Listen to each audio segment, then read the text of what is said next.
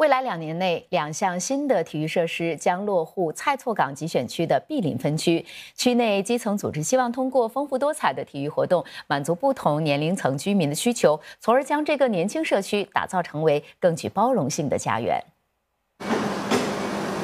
在邻里体育计划下，这片空地将新建多用途球场、有盖篮球场、健身角落和儿童游乐场。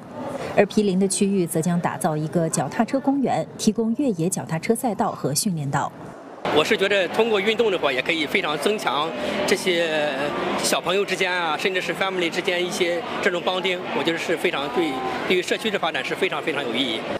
国家发展部长李志生到区内进行部长社区访问，并了解了新设施的发展计划。碧林是蔡厝港集选区的新分区，最早落成的祖屋屋龄也不过七年。区内还没有购物中心或民众俱乐部，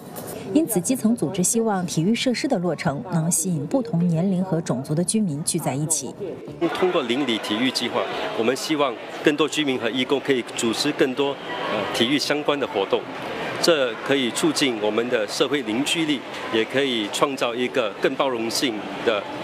毗邻邻里社区。议员表示，为更方便居民，区内接下来也将改善交通连通性。